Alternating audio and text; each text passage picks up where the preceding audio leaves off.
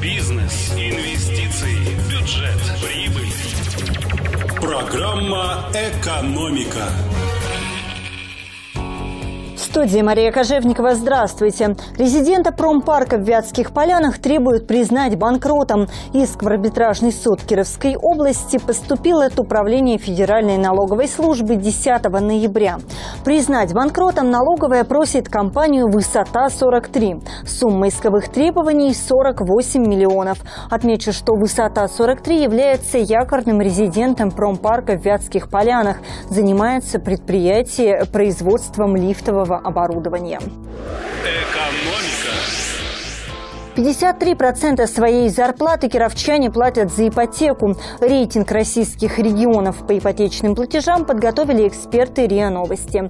Кировская область оказалась в нем на 50-й строчке.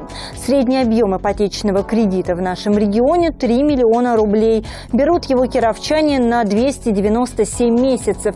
Платят в результате половину зарплаты. В среднем по стране цифра 44% от зарплаты. Лидеры рейтинга – это северные и удаленные регионы. Например, жители Магаданской области, Чукотки, Ямало-Ненецкого автономного округа, которые находятся в первых строчках рейтинга, платят по ипотеке только четверть зарплаты. В аутсайдерах регионы Северного Кавказа. В Калмыкии, которая находится на последней строчке, на ипотеку уходит 93% зарплаты. В Северной Осетии – 80%.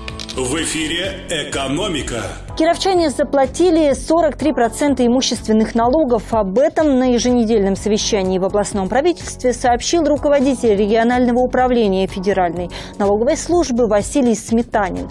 Он напомнил, что до завершения периода уплаты налогов за 2022 год остается три недели.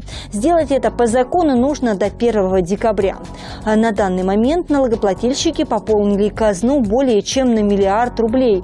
Это 43%. В прошлом году на эту дату было уплачено меньше 38%. Общая начисленная сумма 2 миллиарда 400 миллионов рублей.